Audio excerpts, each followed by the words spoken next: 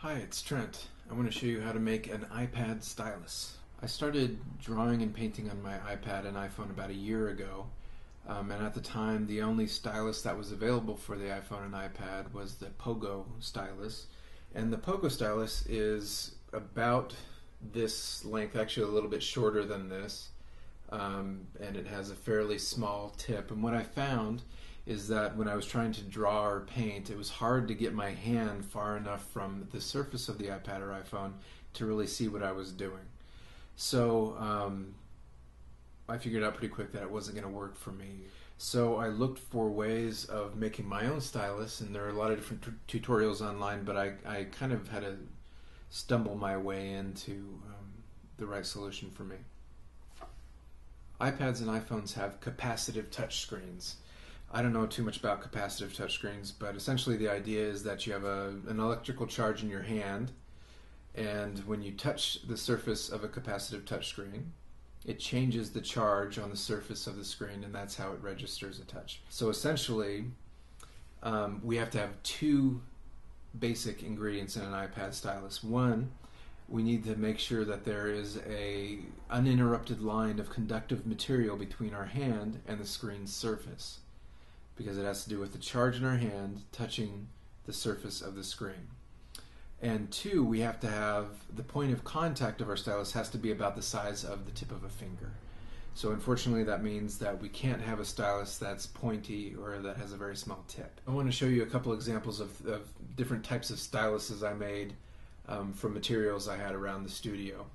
Uh, one is uh, it's a charcoal holder that I put conductive foam into, just as if it were a piece of charcoal, tighten it down, and then now this can act as an iPad stylus. The important thing here being that my finger has to be touching the metal tip uh, in order for it to register as a touch.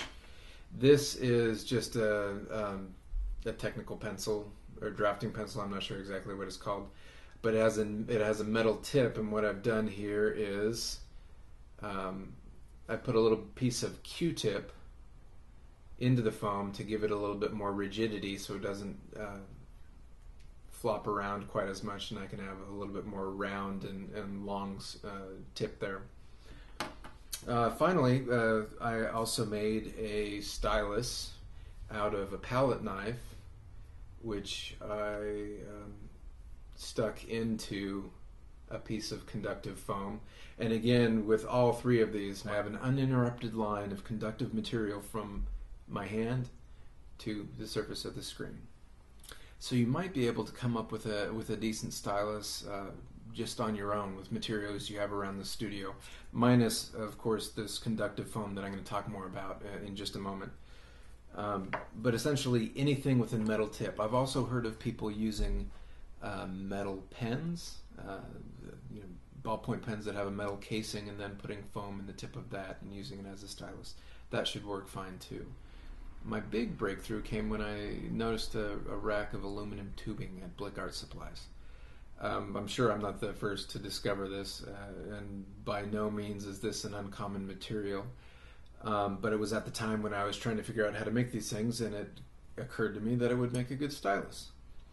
Um, these aluminum tubes come in several different sizes. You can see here, all of them about a foot long, um, different diameters what ended up being most comfortable to me were were these kind of larger sizes that are more the size of a number two pencil.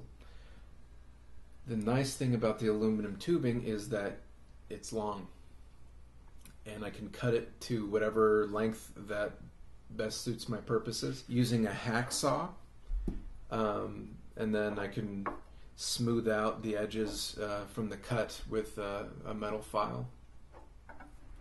Now the foam was a little bit more tricky. I tried Best Buy, I tried Radio Shack, I tried a, a packaging supply store. Um, none of them knew what I was talking about. Uh, and then I read online that, that most electronics are, are shipped in the stuff. So I went around to friends and asked them to give me all their packaging from electronics, and, and again, no luck. Uh, where I ended up finding the foam is at Fry's Electronics. It turns out that integrated circuits, which are the many legged bug looking uh, computer chips that you might be familiar with, uh, which they sell at Fry's Electronics, are shipped stuck into high density conductive foam, which is what we were looking for. So now I've got my two basic materials. I've got the aluminum tube and I've got the high density conductive foam. My tube I can cut down to whatever length that I want. I, I mean, I could get as many as three different styluses out of one tube if I wanted to. Or I can just leave it as long as it is here, which I have done with several different styluses. You can see this one.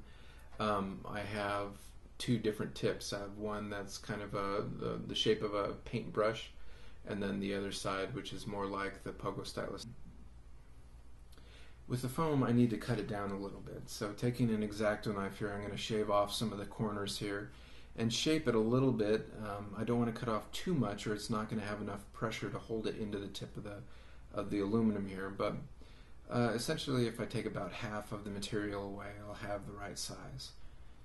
And then it's just a matter of squeezing, twisting, and pushing at the same time uh, the foam into the tip of the tubing. And I keep on squeezing, twisting, and pushing, and it will eventually work its way into the tube until finally I just have a little bit of the foam sticking out of the tip. And then it's just a matter of using uh, your X-Acto knife or some small scissors or whatever works for you to shape the end. So here I am with my iPad open and I have a nice long stylus that I can use to get my hand far away from the surface of um, the iPad, and it's going to act more like a paintbrush.